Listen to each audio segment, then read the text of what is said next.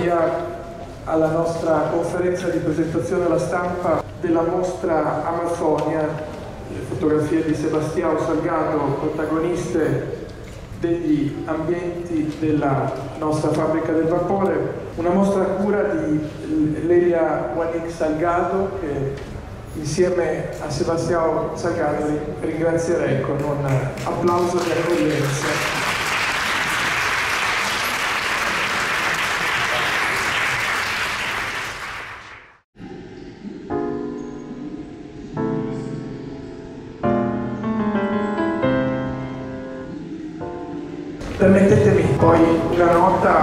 Anche per quanto riguarda l'allestimento, cara Ledia, di questa bellissima mostra. È una curatela profonda, attenta di chi conosce ovviamente in profondità il lavoro di, di Sebastiano Salgado, ma sono una curatela e un allestimento inediti per Milano e per la fabbrica del vapore. Entrare nel corpo centrale della cattedrale, della fabbrica, e vedere questa infilata di immagini che eh, abitano questi spazi, riempiono in maniera così armonica uno spazio difficilissimo. Io da assessore e ancora prima di fare l'assessore ci ho lavorato tanto su fabbrica del vapore, ma eh, è sempre molto complesso portare eh, le mostre all'interno di un ambiente di un volume così, così ampio e così affascinante. Immagini di Salgado eh, veramente aprono gli occhi aprendo gli occhi aprono il cuore. L'allestimento è eh, curato appunto da lei con una maestria incredibile che rende veramente Fabbrica del Vapore una distesa, una distesa, come vi ho detto, di emozioni, una distesa di immagini, una distesa di eh, riferimenti a un mondo che eh, ci appartiene, ma al quale noi soprattutto apparteniamo.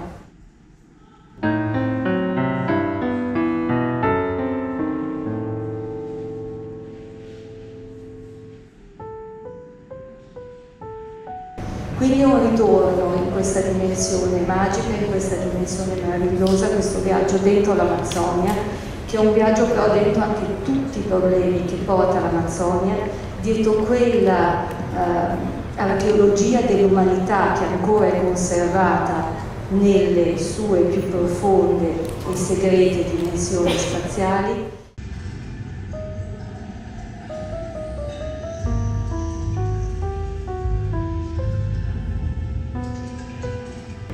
Cioè, spiegata anche tutto il progetto di riforestazione che c'è in Brasile e che sta andando avanti in una maniera incredibile e soprattutto eh, che può avvalersi di un'azione continua eh, senza, senza pause assolutamente da parte di Sebastiano e Lelia con l'Istituto Terra ma soprattutto con la volontà di far partecipare tante persone, tantissime persone a un sogno individuale che è diventato un sogno collettivo, l'idea di vivere in un mondo di armonia, che non è una cosa che si può dire così.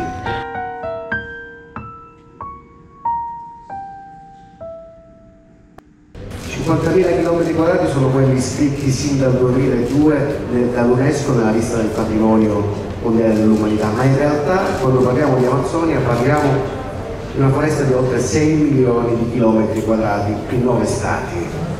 Per dare un paragone, l'Unione Europea ne conta 4 milioni di chilometri quadrati, quindi stiamo parlando di un continente. Noi abbiamo scelto di accompagnare la cultura internazionale sulla mostra Amazzonia in tutto il mondo e questa mostra ha già dato modo a oltre un milione di visitatori che hanno iniziato a vedere queste fotografie, a capire queste tematiche eh, a, a Londra dove c'è stata la prima mostra che ha raccolto oltre 40.000 visitatori. È seguita Roma che con grande orgoglio ha quadruplicato il numero di visitatori superando i 160.000. Dopo, dopo c'è stata ovviamente eh, San Paolo che non poteva essere da meno, quindi ha quasi sfiorato i 200.000 visitatori, ma è stato niente in confronto ad Avignone che è arrivata a 350.000 visitatori e l'ultima è stata a Rio de Janeiro con quasi 400.000 visitatori. Quindi non voglio dare un numero su Milano, ma è chiaro che le aspettative non possono essere da meno.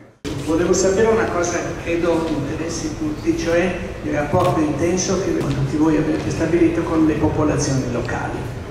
Vous savez, pour faire un travail comme celui-là, per fare questo lavoro ci vuole molto tempo, ci vogliono davvero, mi ci sono voluti molti anni e eh, devo dire per mettere insieme tutto il materiale per la mostra che visiterete, eh, io ho impiegato dai 9 ai 10 anni e eh, io ho dovuto recarmi parecchie volte in uh, Amazzonia, in modo particolare nel periodo intercorrente eh, tra il 2013 e il 2019. Sono stati sette anni di lavoro molto intenso. Io ho compiuto 58 viaggi in Amazzonia e ho passato in Amazzonia molto molto tempo. Già il fatto che il mio progetto sia stato accettato è stata una cosa molto importante. Dovete tenere presente per esempio che per un progetto di questo genere occorre percorrere delle lunghe distanze e avere tutta una serie di autorizzazioni. C'è la Fondazione Nazionale eh, per la Protezione degli Indigeni eh, che deve concedere la sua autorizzazione, il Ministero di Grazia e Giustizia deve dare la sua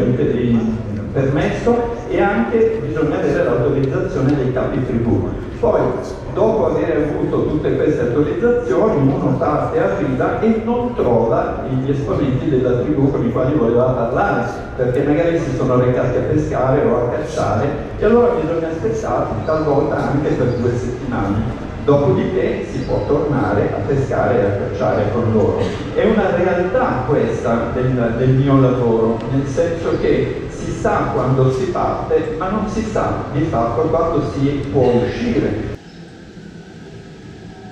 Lei e io siamo stati accettati dall'alto comando dell'esercito brasiliano eh, e quindi siamo eh, stati in grado di viaggiare con loro e eh, di fatto l'alto comando dell'esercito brasiliano è la sola istituzione che ha 23 sedi ufficiali nella foresta amazzonica, uno per mantenere ovviamente la sovranità del paese e due anche per controllare il traffico di droga che viene dalla vicina Colombia, perché la Colombia eh, confina con la foresta amazzonica ma viene anche dal Venezuela e dal Perù.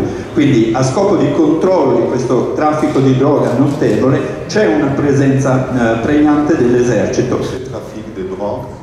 Quindi noi abbiamo avuto la possibilità di volare con i loro piccoli aerei e i loro elicotteri e riuscire a scattare delle immagini inedite della foresta. Eh, si ha generalmente la consapevolezza che la foresta amazzonica sia un territorio piuttosto piatto, solcato da grandi fiumi, non è affatto vero, le più alte catene montuose del Brasile si trovano proprio in Amazzonia e per la prima volta noi siamo riusciti a, a fotografarle e quindi ci sono tutta una serie di immagini inedite a questo proposito. Eh, poi eh, ovviamente abbiamo avuto la possibilità anche di ritrarre eh, i fiumi e il loro corso e quello che avviene.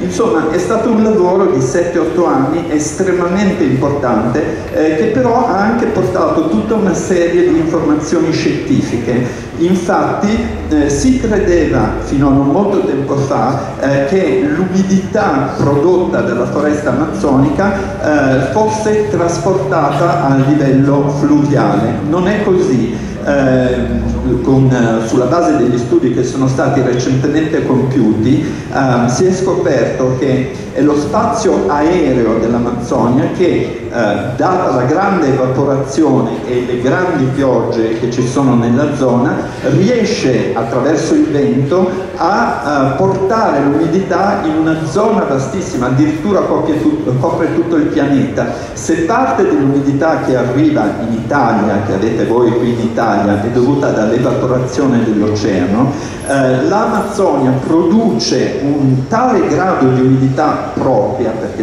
piove talmente tanto, e si è stimato che ci sia una produzione pari a circa che va da circa 1000 a 1200 litri giornalieri eh, e poi il fatto che esistano miliardi di alberi in Amazzonia fa sì che questo flusso di umidità riesca addirittura ad arrivare in una certa misura anche in Italia e sicuramente nel resto delle Americhe. E questa è stata un'altra cosa che era essenziale dimostrare e che siamo riusciti a dimostrare e a mostrare grazie al fatto di poter aver avuto la possibilità di scattare delle immagini aeree.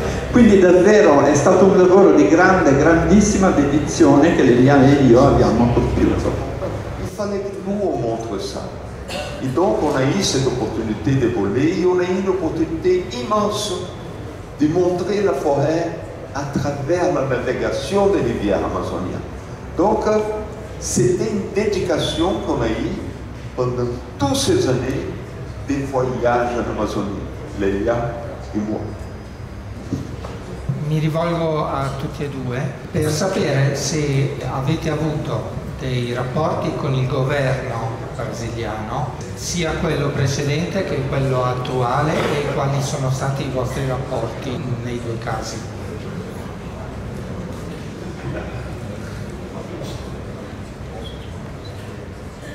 Avec les gouvernements précédents, nous n'avons eu. Eh, sì, allora, per essere precisa, non abbiamo intrattenuto alcun rapporto con il governo precedente perché si trattava di un governo che era votato e versato alla distruzione del paese e quindi questo non faceva assolutamente parte del nostro pensiero quindi non abbiamo avuto nessun tipo di rapporto. Ora con il governo attuale intratteniamo molti contatti, abbiamo sempre comunque mantenuto contatti con Lula, eh, perché questo governo è un governo che davvero pensa ai brasiliani, pensa al paese, pensa alla situazione degli indigeni e pensa alla situazione dell'ambiente. Quindi noi siamo ben contenti di intrattenere rapporti con questo governo, però al di là di questo, eh, appunto, eh, noi siamo andati in Amazzonia con il nostro progetto, con le nostre idee e non c'è nessun tipo di legame da questo punto di vista con il governo. Eh, io sono curiosa di un aspetto tecnico del suo lavoro di autore della fotografia, eh, nella gestione dell'equipment in questa umidità e eh, la scelta di introdurre questi, talvolta nei ritratti questi fondali neutri che forse sono estranei all'esperienza degli, dei, dei nativi, ma in qualche modo vanno comunicati perché loro si sentono così diretti a loro agio, quindi una scelta artistica molto precisa che mi piacerebbe che lui spiegasse se, se era un background, un telo, un, un buio, questo buio da cui emergono plasticamente questi volti molto intensi. Come è stato loro spiegato, se è stato spiegato. Grazie. Les choix de faire des portraits, Per quanto riguarda invece la scelta di fare questi eh, ritratti come quelli che lei vede in mostra, eh, c'è una foto speciale in mostra, quando la visiterete vi invito a guardarla, è la foto dello studio portatile che io ho. È uno studio davvero grande perché ha 6 metri di larghezza, quindi vuol dire più largo di tutta la prima fila, e 9 metri di lunghezza. E io in genere lo monto sotto gli alberi. È uno studio che si può arrotolare perché ovviamente siccome lì piove stovente, eh, io ho dei peli di plastica per proteggerlo dall'umidità e quando piove appunto arrotoliamo tutto, poi srotoliamo quando la pioggia finisce. Perché è così grande? Eh, perché eh, appunto eh, quando si ha a che fare con una popolazione indigena bisogna aspettare che siano loro che vogliono venire a farsi fotografare. E, e, quindi ci sono delle occasioni in cui magari sono fuori a pesca e quando ritornano al villaggio ritornano tutti assieme e vengono da me.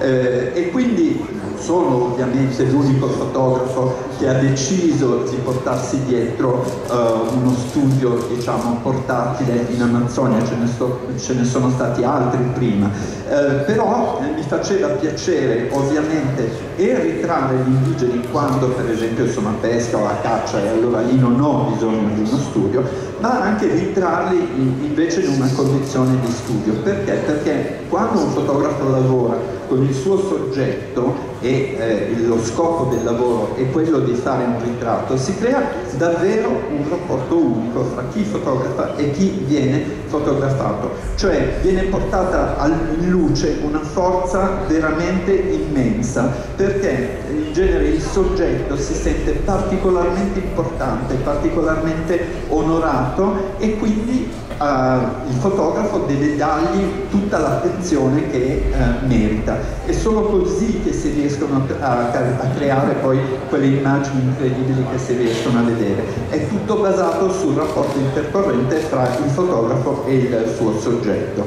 Ecco, uh, per esempio per me è stato essenziale, come dice lei, creare questi sfondi neutri e le spiego perché. Perché eh, gli indigeni generalmente sono persone, per così dire, molto decorate, portano dei bellissimi orecchini, sono coperti di fiori, il loro corpo per esempio è coperto di magnifiche immagini tatuate e eh, sono comunque se ritratti nel mezzo della foresta eh, assolutamente ben camuffati e quindi è molto difficile dissociarli dal resto dell'ambiente circostante. Invece se uno li fotografa con uno, uno sfondo neutro, beh, si mostra tutta la loro potenza, tutta l'importanza della loro cultura che ovviamente si portano dietro nel loro corpo e quindi eh, è per questo che eh, diciamo, io ho deciso di ritrarli in uno studio con uno, con uno sfondo neutro. C'è stato un altro fotografo che si è occupato di fotografare moltissimi indiani d'America eh, e ci sono moltissime immagini molto potenti e io ho cercato un pochino di fare la stessa cosa. Poi diciamo, ho deciso di avere uno studio di dimensioni notevoli perché in questo studio io posso ospitare fino a 30-40 persone nello stesso momento. Eh, non c'è niente di strano perché ci sono stati dei giorni, per esempio, che il mio studio è rimasto completamente vuoto perché nessuno si è fatto vedere. In altri casi magari eravamo gruppi di 20, 30, anche 40 persone e io non ho mai rifiutato nessuno perché appunto eh, c'è una ricchezza di rapporti che devi sapere trovare quando succedono queste cose e eh, noi abbiamo appunto devoluto una parte della nostra mostra e Lelia quando eh, si è occupata della creazione eh, della mostra ha proprio voluto che ci fossero delle proiezioni, vedrete delle proiezioni, dei video, eh, non solamente dei paesaggi ma anche proprio dei ritratti delle persone che parlano. Bene, grazie, grazie a tutti voi. E grazie soprattutto a Nicola e a Sebastiano Salcato.